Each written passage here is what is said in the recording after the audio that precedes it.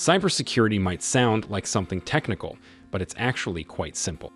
It involves the protection of computer systems, networks, and programs from harm. If you work with computers, you'll need to know about cybersecurity. With our new work realities and evolving work patterns, we work in many different ways from various locations. If you don't know about cybersecurity, you're putting yourself and your organization at risk. This course is going to give you an overview of cybersecurity and its key elements.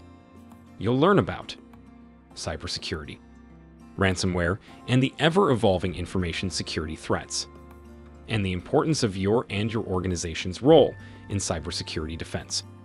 This will be helpful for anyone who works with computers, and in today's fast-paced world, that's almost everyone. So let's show you how to be safe online, introduce you to some cyberspace nasties, and show you how to protect yourself and your organization. Let's get started.